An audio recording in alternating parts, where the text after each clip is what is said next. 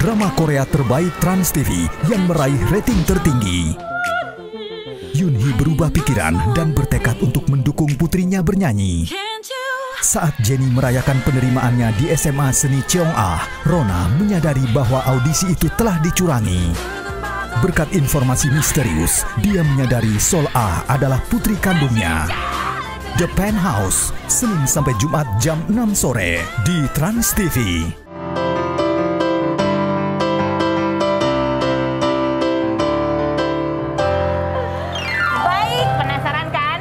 Ini sulapnya tadi tuh ngapain sebenarnya? Oke, tadi udah satu kunci ya. Satu kunci. buka. Sisa dua Sisa kunci. dua. Satu kunci. Dia belum Salah, diapa-apain sat- tadi. Belum salah diapa-apain. satunya bisa untuk membuka gembok ini. Kalau bisa dibuka? Ambil ini uangnya. Oh, benar. Ah, Oh. yi. Oke, oke. Kalau bisa kebuka, ambil bagi dua, uangnya. bagi dua ya, bagi Bagi dua. dua. kalau bisa, oke. Silakan. Pilih. Lu Mau yang mana? Sekarang. Ini, Mau tuker yang itu nggak? kenapa emang? Ya gue nawarin. Kalau mau boleh, kalau nggak, Tapi pasti, apa-apa. pasti dapat nggak? Ya nggak tahu. Gue nawarin. Mau tuker yang itu nggak?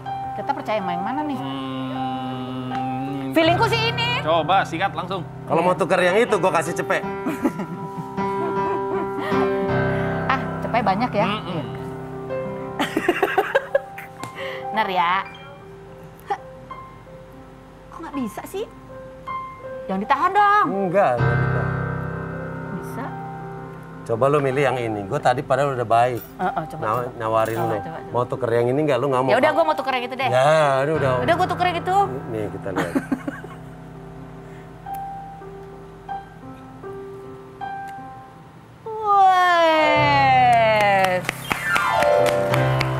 Udah dapet dong berarti. Kasih ya. dapet kan salah lo. Eh, aku udah Ah. tukar. Curang. Tepuk tangan dong, tepuk Tepuk tangan, tangan. tepuk tangan. Sulapnya mahal. Udah berapa habis investasinya untuk alat sulap? Enggak, jadi gue tuh seneng aja karena memang Berapa, Pak? Pertanyaan saya jawab Ya angkanya. lumayan, lumayan. Eh, seharga mobil? Enggak, Enggak nyampe eh, motor? Iyalah. Oh motor, motor yang mana dulu Pak? Motor juga ada yang puluhan, Motor. ratusan juga ada. Iya segitulah.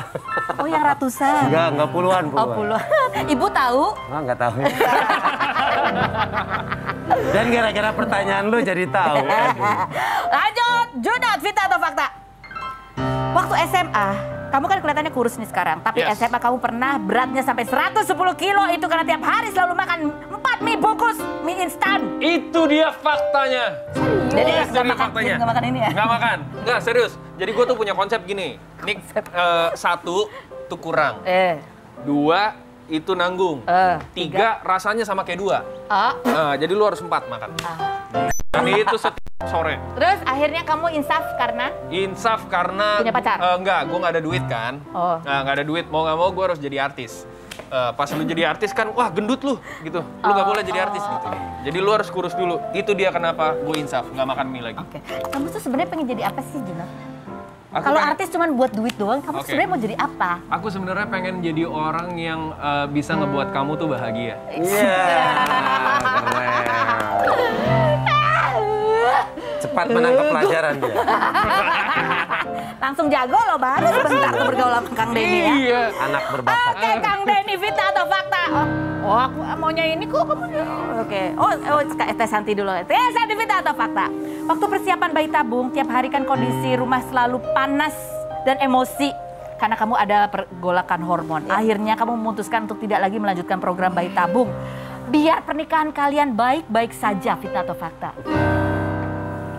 Eh, Atau belum siap aja? Atau memang ah, ada rencana? iya, belum siap aja Belum sih. siap, tapi masih Ah, ah. akan ada. Insya Allah. Insya Allah ya, doakan gitu. Itu Pak, sabar ya Pak ya. Amin. Itu beralih ke pertanyaan selanjutnya untuk Kang Denny. Fitnah atau fakta Kang Denny? Kang Denny sih emang nggak punya niatan poligami sama sekali. Tapi sering ngancem. Mau nikah lagi.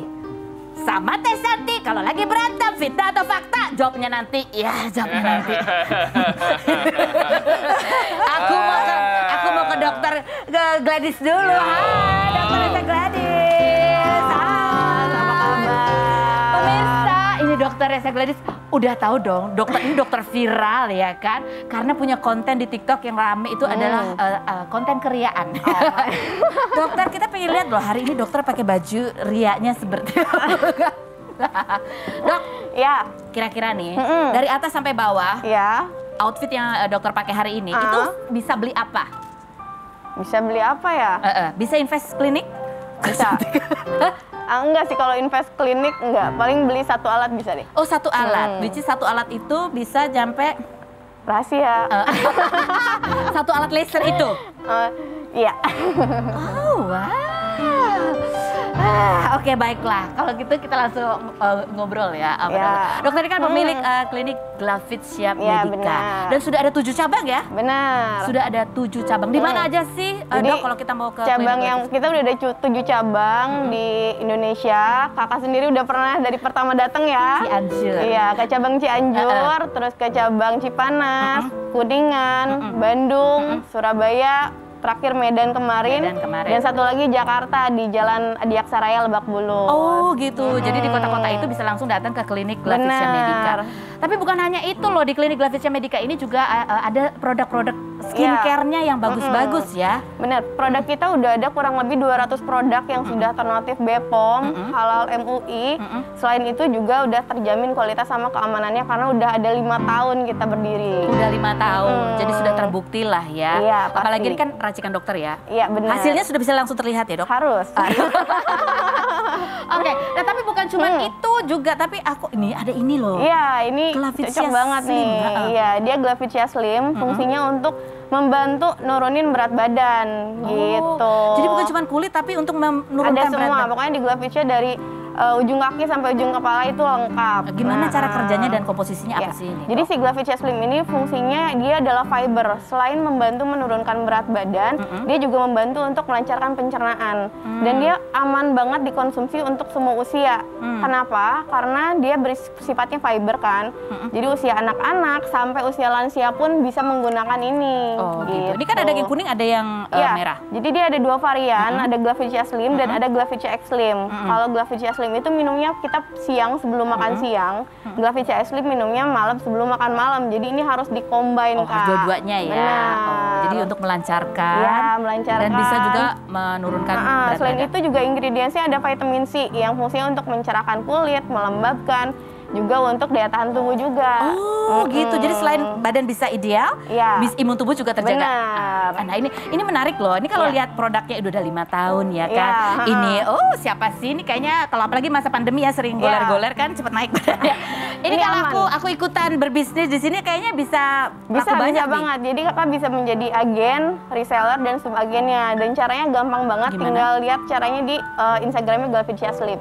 Oh di Instagramnya Ah. Glavitsia Slim itu bisa menjadi agen reseller Dan atau subagennya. subagennya Ah, ah. Ada websitenya juga nanti bisa dilihat di websitenya. Oke, nah Mm-mm. ini kalau kalau itu kan untuk jadi agen reseller Ya. dan juga subagen. Mm. Tapi kalau misalnya kita di rumah aja nih kan, Benar. belum berani ke mana-mana, Mm-mm. belum belum bisa datang ke klinik Glavitsia Ya, Medica. Ha-ha. Tapi pengen beli produk Produk. Medica skincare-nya, pengen beli Glavitsia Slim-nya, ini bisa belinya di mana? Bisa dok? banget, caranya gampang. Yang pertama kalau misalkan kamu nggak bisa datang ke klinik, bisa pembelian via Shopee. Shopee-nya adalah Glavitsia Official Store.